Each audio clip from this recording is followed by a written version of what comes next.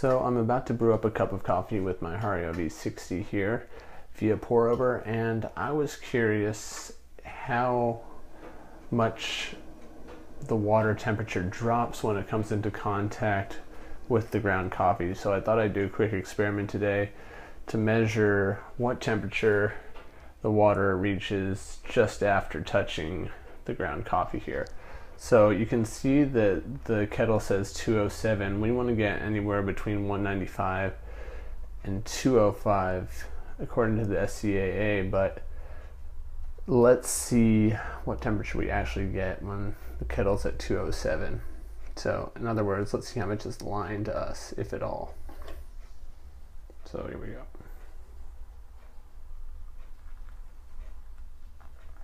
Just gonna do a quick bloom.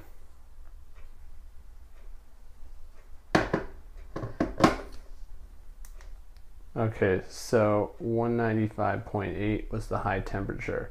So remember, this was set at 207 and we dropped all the way down to 195.8. So let's just see what happens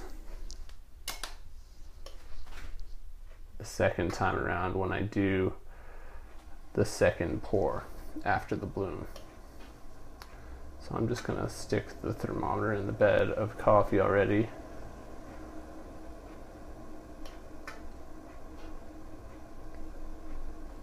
We've reached 207 on the kettle. It's been about a minute.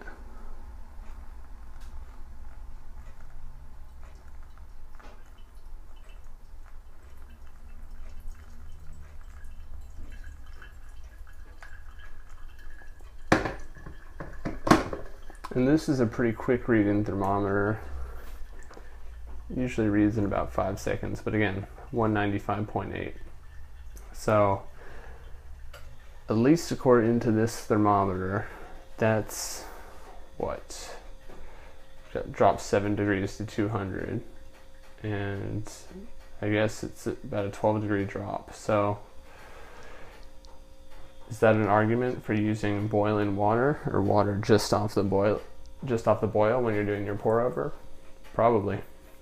I mean, 195 is much lower than what I had aimed for.